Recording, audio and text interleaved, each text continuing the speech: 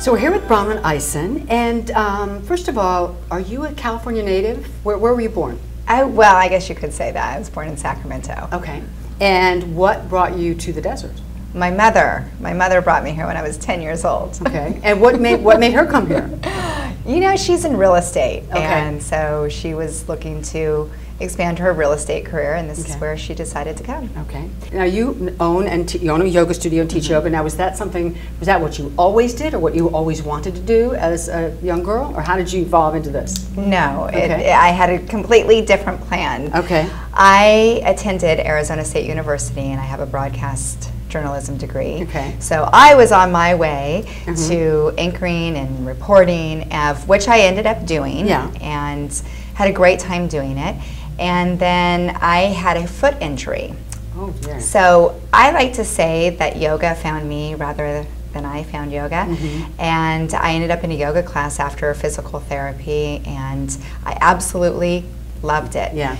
And then it just kind of started to take on its own life. I Mm-hmm. practiced for many, many years before I, I started actually teaching. Yeah. And then I moved here to the desert after living in Arizona for quite some time. And I knew how to do two things when I moved here. I knew how to teach yoga Mhm. and I knew broadcasting. Mhm. So when I did move back here to the Valley about seven years ago, I was simultaneously working both careers. Mhm. And then the yoga just ended up taking precedence Mhm. over the broadcasting and evolve happened. Happened. Yeah.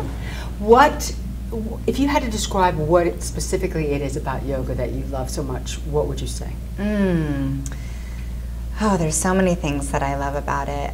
It's it really yoga has been for me it has been a part of a way that I was able to really find my breath. I was really able to find some peace and calmness and really more so than anything, I was going through a very stressful time Mm-hmm. In my life when my yoga practice, when I really started to pick up my yoga practice. And I really found it was the only place that I could catch my breath. Yeah. I had a lot of anxiety and I felt um, so stressed at times that yoga was my outlet. Right. So for people who are stressed, oh my gosh, which is pretty much 100% Yeah. of the population. Yoga is a really, really good stress reliever. Mhm. And I was able to find my breath. There were times I was in class maybe 30 minutes and I finally caught my breath. Right. And the breathing techniques in yoga also helped facilitate um, wor- me working through. I had an upper, upper respiratory disease. I had something that's called valley fever.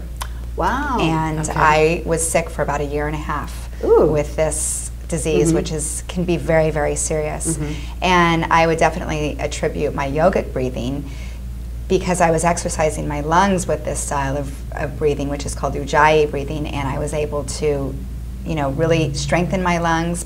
It's a physical exercise. It helps tone you and keep you in shape, Mhm. but it's also emotional and spiritual and, and so many other things. Well, I think too that's why they really refer to mind, body, spirit, or mind, Mhm. body, soul.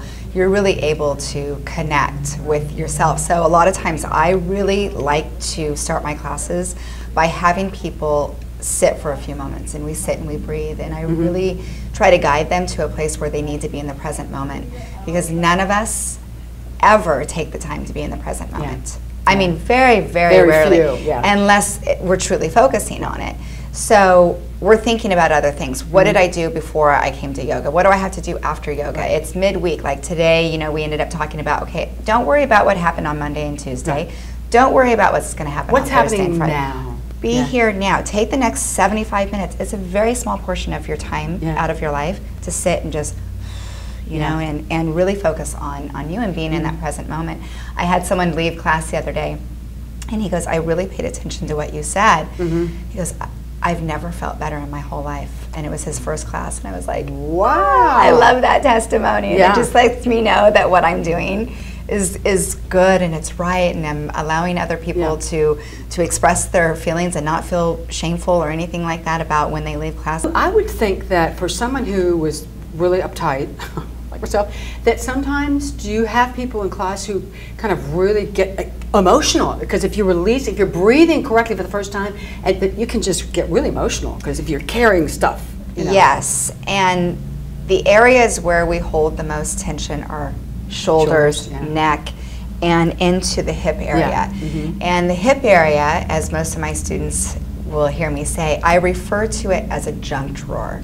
Okay, because we store a lot of emotion. A junk drawer. I'll A junk drawer. that, And we've all got junk drawers, Yeah. right? And we never want to address what's in the junk drawer. Just Just like we never want to Yeah. address Yes. What's going on in our personal lives. Ah, we push it to the Yeah. side, dust it under the rug. I'll deal Yeah. with that later. I don't want to, you know, even focus on that. So in yoga, if we do a lot of hip opening, in fact, it's probably my number one requested thing to do Hip- in the body. hip opening. Mm-hmm. hip opening. So we will get into the hips, and I usually say, okay, I'm going to let you know we're getting into our junk drawer. Mm. You are going to probably feel an emotional release. And. I've had people who have been with me for quite some time who even at the last position of the class, which is called Shavasana, Mm-hmm. where we just lay there. You know, your, your eyes are closed, you're supposed to make like a human starfish, Mm-hmm. and some people will still just stare up at the ceiling, and I'm going, oh, please, I'm just, Yeah. I'm waiting for the moment To that get- you to get close there, your yeah. eyes, please. And some people Never do. completely shut down, and they're just, they're out. Some people will fall asleep. Yeah. So it's really about what's going on with them personally, I think Mhm. a lot of times, or some people don't feel safe closing Yeah, their eyes. right, They're in an environment where we are very safe and nurturing here. Right. What are you proudest of? Oh, probably my daughters. Yeah. Yeah, I think most people probably Yeah. always say that is, Yeah. you know, they're they're a true blessing. I, I wouldn't know what to do without them. It's, you know, being a single mother has its challenges for Yeah. sure. Thank you so much. Thank, you, Bonnie. Wonderful. Thanks.